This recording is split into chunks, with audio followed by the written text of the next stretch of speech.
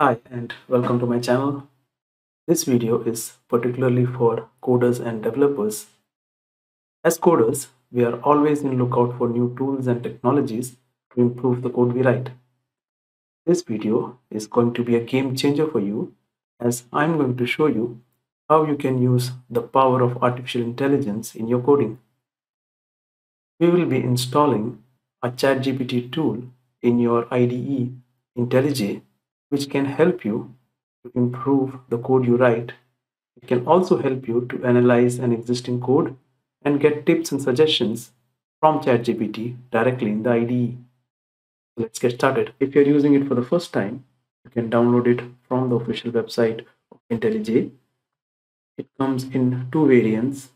It can be downloaded as a community edition where you can use it for free but with limited features and you can also buy the license and use it with the advanced features.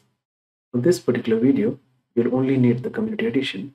So let's just download it. So this is how the IntelliJ IDE looks like. I can show you the version which I am using. So I am using the IntelliJ IDEA 2021 Community Edition. So to start using the ChatGPT in the IDE, just go to Files and scroll down to settings, it will open a dialog box and in the settings dialog box you will find something called as plugins which will show you marketplace where you can search for all the plugins available for IntelliJ. If I search for ChatGPT, I can see all the plugin applications available for IntelliJ related to ChatGPT. These are different tools developed by different companies I use particularly the ChatGPT Easy Code and we are going to use the same for this video. I've already installed it, so that's why it shows as installed, but you can install it by clicking on the install button. Once it's installed, it will show as a sidebar like this. When you click on that sidebar, you will see this window getting opened. You can see the different integrations available for ChatGPT plugin. There's Easy Code, there is ChatGPT, this one is going to be removed by this plugin so there's no point in using this one.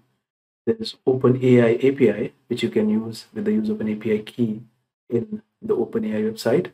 And there's also an online chat GPT I use the easy code integration because it's enough for the requirements which we have and it pretty much does all the stuffs which we'll require.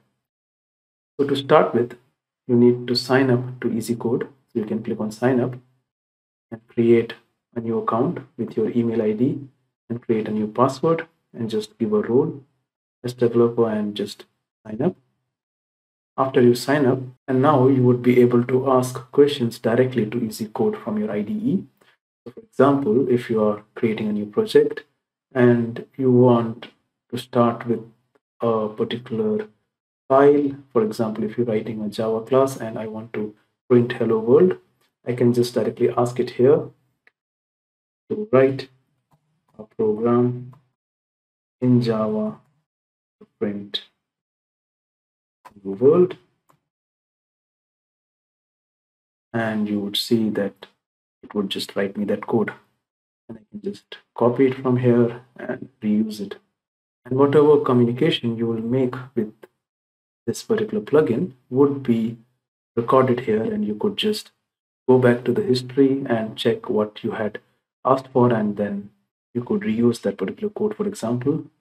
It's even being written to your local history so if you go to files and reopen settings and search for ChatGPT,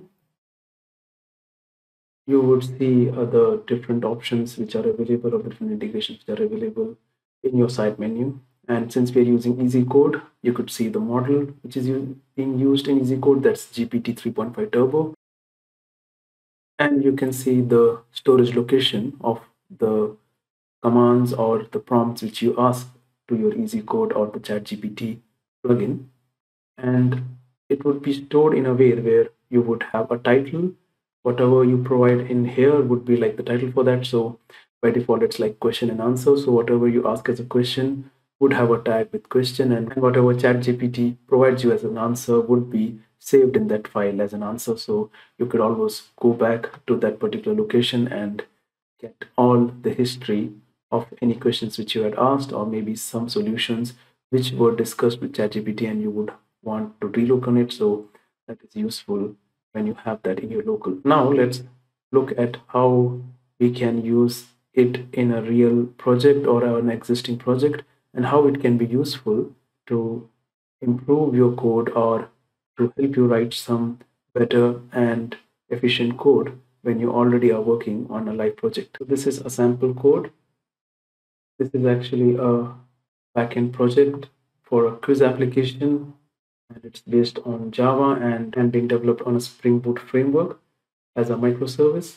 So for someone new to Java or someone new to this project, the plugin ChatGPT might be very useful where you can ask questions directly to ChatGPT without going online and copy pasting your code or searching different sources in Google.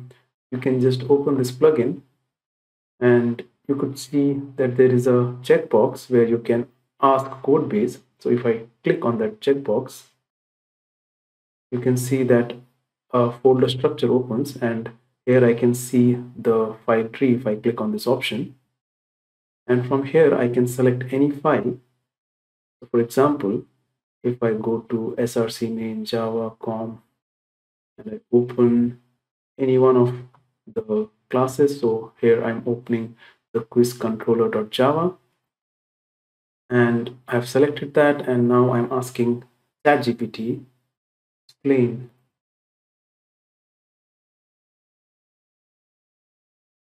the file selected in codebase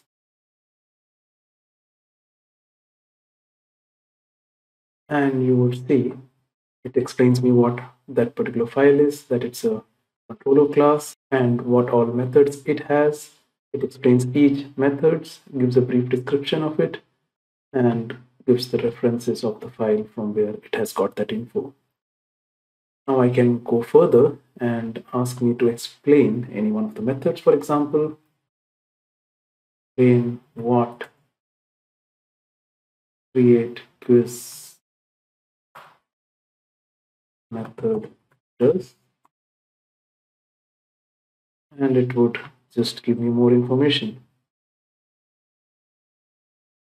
So I can see that the create quiz method in the controller class is creating quiz in the quiz application and it has an annotation of post mapping.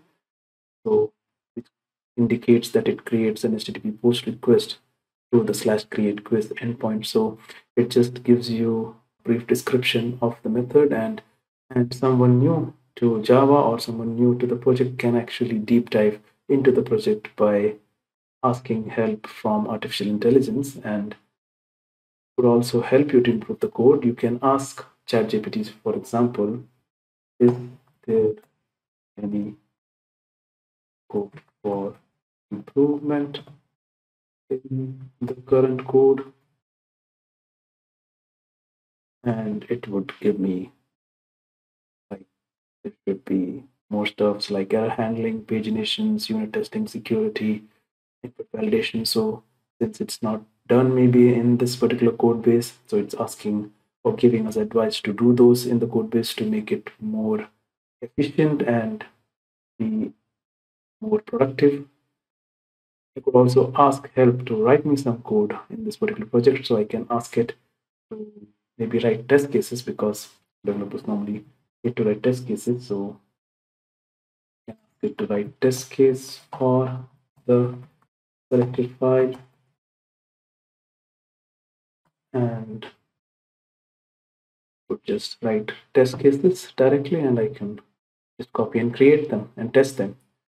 So it would make your work so much easier. You can also ask it to write some documentation based on the project. So can you create a documentation for this project and just give me entire information of what the project is about. It would give me information of each of the files, of each of the methods, each of the endpoints, how we can run it. So what all technologies is being used how to deploy it. So basically you don't need to write so much stuff by yourself. You can explore so many things by this if you don't understand a particular line, if you want to improve a code, if you want to maybe write test cases as you should.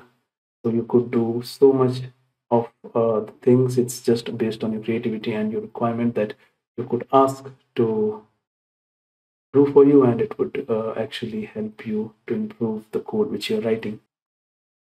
Artificial intelligence is surely here to stay, so it's only for us as developers to adapt to the new technologies coming our way. So this video was a small example of how you could use that artificial intelligence in your coding as an integrated part of your IDE. It is useful for experimental projects and I would not advise it to directly use it in live projects due to security concerns of exposing your code. But still, it's good to play around and learn new things when you start a project. I hope my video was helpful for you. Please like, share and subscribe if you want more such videos. Thank you for watching.